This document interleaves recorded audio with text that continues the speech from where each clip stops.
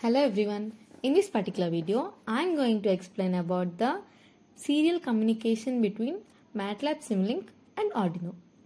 For this, first open the MATLAB, go to the Simulink and click on Create Model.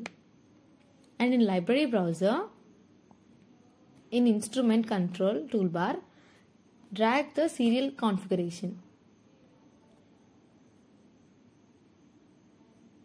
Serial send and also serial receive blocks.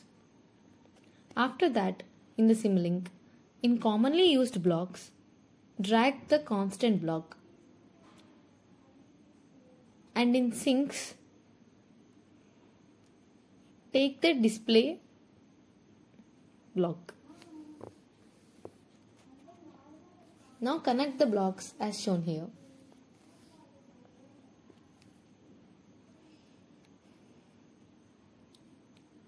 Connect the Arduino to the laptop. After that, double click on the serial configuration, change the port to COM port number and baud rate to 115200 and apply the changes. After that, double click on serial send and change the COM port to 7. Terminator to carriage return or line feed and apply the changes. At last, double click on the serial receive. Change the COM port to COM7 and data type to single.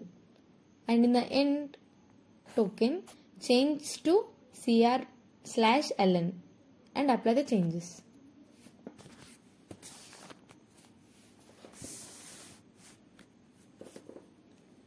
In display, change the numeric display to decimal and in constant in signal attributes change the output data type to single and apply the changes.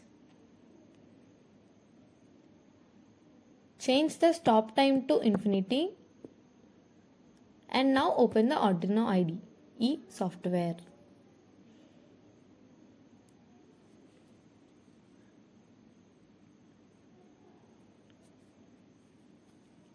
Now type the code which was given in the description.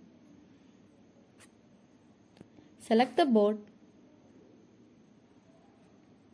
as Arduino and COM port number in the tools.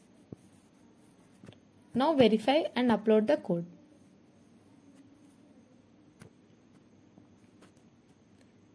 In the model settings, change the type to fixed step.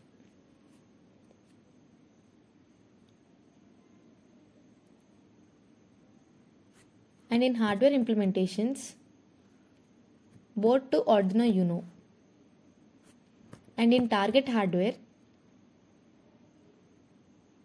change to manually specify. And COM port number to 7.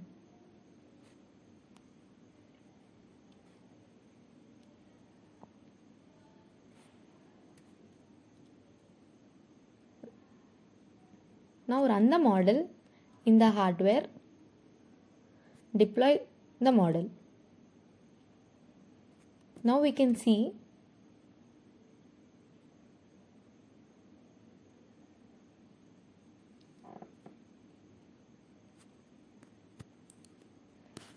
the output as the code specifies adding the 5 to the constant values.